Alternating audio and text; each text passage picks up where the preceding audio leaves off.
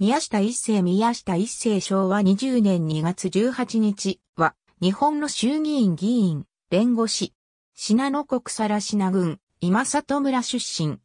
1881年、長野県師範学校に入学するも退学して、翌年に明治法律学校法律学科に入学した。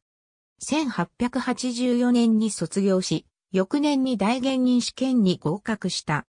1888年には、公有大芸人と共に、信濃法律協会を創立している。その後、弁護士業務の傍ら、1891年より、長野県会議員、同参事会員、同議長を歴任した。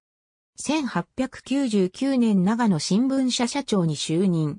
小坂財閥に対抗する更品財閥が、宮下一世を、社長、宮崎清蘭を主筆として、長野市に声優系の長野新聞を起こしたのである。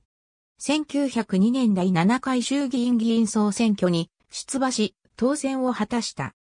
1936年に開通した全工寺白馬電鉄の鉄道路線、昭和11年11月22日に南長野駅全工寺温泉東口間が開業の運営にも尽力した。